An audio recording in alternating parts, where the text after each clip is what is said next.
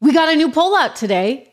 We got a new poll from the likes of Bloomberg, place I used to work. And the the new poll actually oddly, interestingly, shows well, we'll start with the good news. Okay, Trump is up, and it's good because you know what? Like I, I, I wear this on my sleeve. I am very much somebody who cares passionately about policy. I care about tax policy. I care about border policy. I care about economic policy. I care about trade policy. And hands down, Donald Trump is so much better on all of those policies than Joe Biden never dreamed of being. So this is good. He's way up in Georgia, he's up in Arizona, he's up in Nevada and North Carolina. Pennsylvania, though, he's suddenly tied. Michigan, he's suddenly tied. He had been up there. And Wisconsin, which has been kind of dicey, he's allegedly down by a point. Now, I say allegedly because the margin of error on this particular poll by Bloomberg and Morning Consult is actually one point. So you could look at him as being tied possibly in Wisconsin. In the last several months, uh, Wisconsin has been kind of dicey. He's been up or down a percentage point in Wisconsin, so it's closer. Michigan, I do think he's actually going to prevail in Michigan because I think a lot of the union workers there in Michigan have kind of had it with him. And I think his message resonates in part because of all the economic frustration that everybody in Michigan and elsewhere in the country, including Pennsylvania, have been feeling. But those are two battlegrounds where he's going to have to work hard. I mean, like, I, I'm not kidding. He's going to have to work hard and he's going to have to get out and do more rallies, et cetera, et cetera. I think in Arizona, issues like the border, they really, really resonate with people. So this is not um, entirely surprising to me. I still think it bodes very well for the 45th president of the United States coming back as 47. I think it's going to happen, guys. I really do. And you know what I called it in 2016? And, uh, you know, I, I hate to call these things so early, but I think that the momentum is there.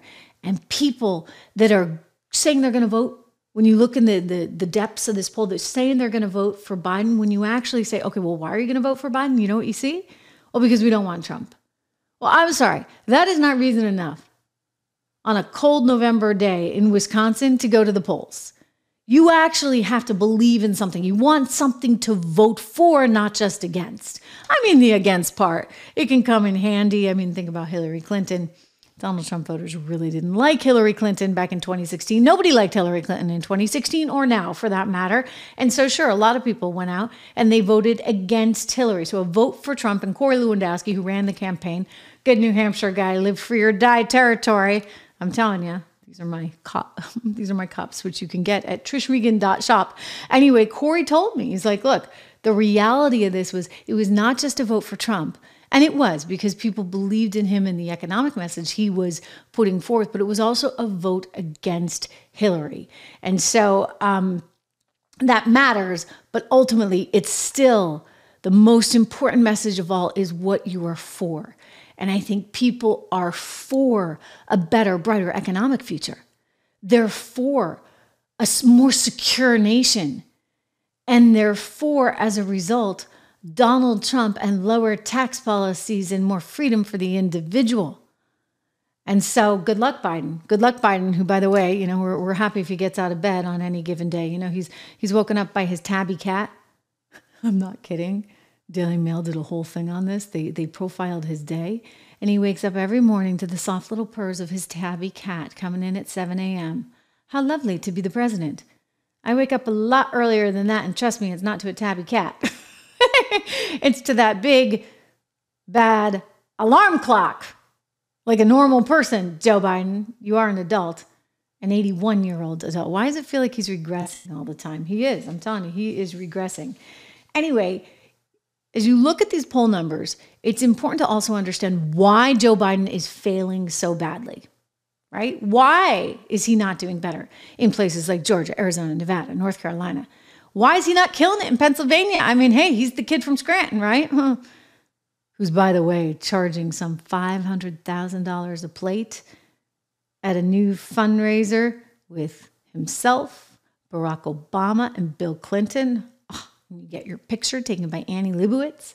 Yay, yay, yay for 500 smackaroos. That's quite a fundraiser. Anyway, why isn't he doing better? I can tell you, one of the reasons he's not doing better is because nobody likes his message. on anything.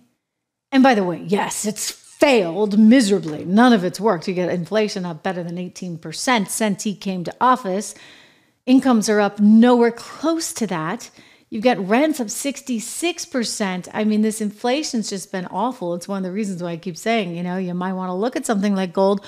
1 560 Our friends over at Legacy Precious Metals, they can help you out. Ladies and gentlemen, if you're worried about inflation because you're dealing with the Joe Biden economy, call my friends at Legacy because I really do believe that having a diversified portfolio, part of which includes something like precious metals, is something that will help you in the long run. 1 589 0560, legacypminvestments.com.